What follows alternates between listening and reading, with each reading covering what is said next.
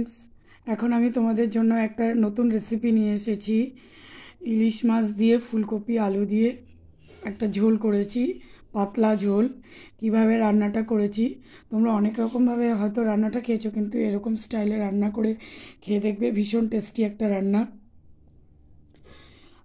ইলিশ মাছটার সাইজটা বেশি বড় না, মোটামুটি সাইজ তো ইলিশ মাছগুলোকে আমি হালকা করে ভেজে নিয়েছি, নিয়ে ফুলকপি একটা পাঁচশো গ্রাম ইলিশ মাছ নিয়েছি, আর ফুলকপি নিয়েছি একটা, আর একটা আলু নিয়েছি, একটা মাঝারি সাইজের একটা আলু নিয়েছি।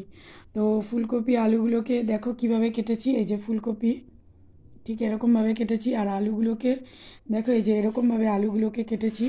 তো মাছটাকে দেখতে পাচ্ছ, তো ফুলকপি আলুগুলো কেটে হালকা গরম জলে আমি একটু ভালো করে ধুয়ে নিয়েছি।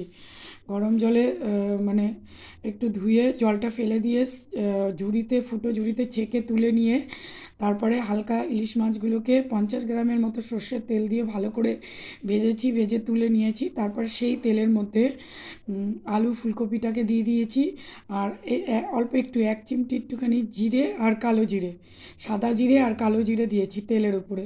দিয়ে ফুলকপি আলুগুলোকে ভাজা করেছি। ওর সাথে ওই জিরাগুলো কালো জিরাগুলোও ভাজা ভাজা হয়ে গেছে। ভাজা ভাজা হয়ে যাওয়ার পরে একটা লাল রঙের পাকা টমেটো নিয়েছি, মাঝারি সাইজের একটা পাকা টমেটো, আর এক আঙুলের মতো, এরকম ঠিক এক আঙুলের মতো আদা নিতে হবে। আদা নিয়ে, আর হাফ চামচ ধনিয়া নেব, চা চামচের, আর হাফ চামচ জিরা, শুকনো কড়াইতে হালকা ভেজে গুঁড়ো করে তুলে নেব। নিয়ে আর ওই যতটা আদা দেখালাম, ওই আদাটাকে পেস্ট করব। পেস্ট করে আর একটা টমেটো পেস্ট করেছি আর চারটে কাঁচা লঙ্কা পাকা পেস্ট করেছি। করে এবার আমি ওই ধনিয়া জিরার যে গুঁড়োটা, তার মধ্যে আমি ওই আদার যা বাটা করেছি, তার হাফ আদা বাটাটা নিয়ে জিরার গুঁড়োর মধ্যে মিশিয়ে একসঙ্গে ফুলকপি আলুর মধ্যে দিয়ে একটুখানি হালকা কষিয়ে নেব, বেশি না। নিয়ে আর ওই টমেটো বাটা, লঙ্কা বাটাটাও দিয়ে দেবো, দিয়ে কষিয়ে তারপর এক মিনিট ধরে কষাবো, বেশিক্ষণ না কিন্তু। পুরো ভাজা ভাজা করব না, কম ভাজা ভাজা করব।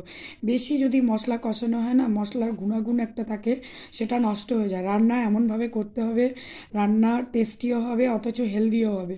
রান্নার যে একটা গুণাগুণ মশলার যে গুণাগুণ সেটা যাতে বজায় থাকে, সেটা আমাদের খেয়াল রাখতে হবে, এমনভাবে রান্না করতে হবে। তো আমি ওটাকে হালকা কষিয়ে আড়াইশোর মতো যেগুলো, এগুলো যেহেতু ভাজা ভাজা হয়ে গেছে, নরম হয়ে গেছে, তো আড়াইশোর মতো জল দিলাম। দিয়ে এবার আমি ওই যেই আদা টকবক করে এবার ঝোলটা ফুটছে, এবার অর্ধেক যে আদা বাটাটুকু রেখে দিয়েছিলাম, কাঁচা আদা বাটা, সেই আদা বাটাটা দিয়ে দেবো ওই ঝোলের মধ্যে, আর মাছগুলোকেও দিয়ে দেবো। দিয়ে দুই মিনিটের মতন টকবক করে ফুটবে, তারপরে আমি না, গ্যাস কিন্তু আমার বাড়ানো থাকবে। পুরো প্রসেসিং রান্নাটাই যে করব, গ্যাস বাড়িয়ে করব। গ্যাস কিন্তু কমিয়ে আমি কোনো রান্না করব না। গ্যাসটা বাড়িয়ে পুরো টকবক টকবক করে ফুটবে, তারপরে আমি নামিয়ে সার্ভ করব। অনেক রকমভাবে রান্না খেয়েছেন, কিন্তু এরকমভাবে রান্নাটা খেয়ে দেখবেন ভীষণ টেস্টি হয়। বা সবাই ভালো থাকবেন, সুস্থ থাকবেন, সকলকে ভালো রাখবেন, নিজেরাও ভালো থাকবেন। বাই।